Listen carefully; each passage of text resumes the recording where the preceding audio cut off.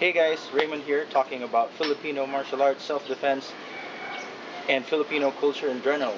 Right now, what I'm going to talk about is twirling in arnis.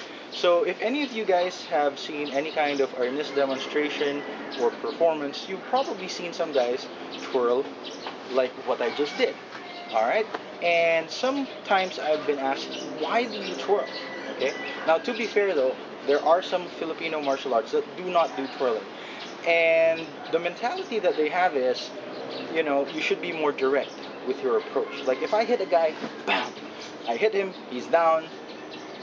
Why twirl? I don't need to learn to twirl to be able to hit a guy like that. All right. Um, to a certain extent, true. All right. But I have to tell you guys, my style does a lot of twirling. And if you've seen any of my lightsaber videos, you'll see me twirl those things quite a lot. Now, are twirlings just for show?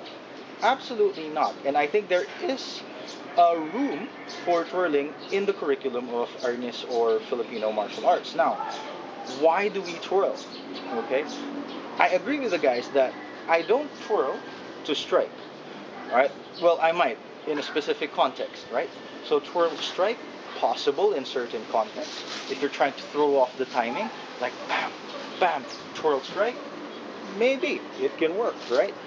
Um, but that's not part of the reason why I do twirling.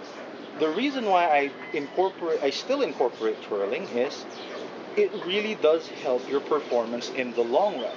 True, this does not require a lot of agility with your hands.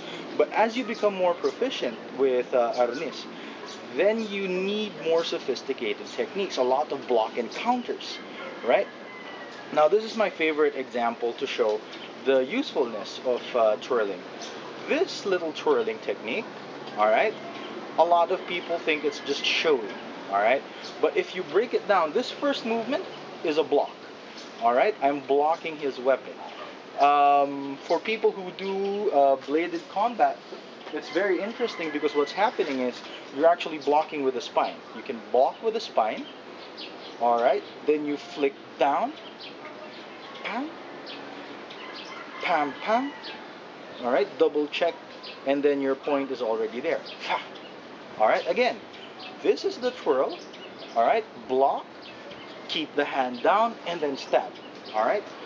So higher level techniques that are more block and counter controlling do require a lot of agility with your hands. So that's where twirling helps. All right. So I hope I've been helpful, guys. Um, that's my thought on twirling in arnis. Hope to see you again.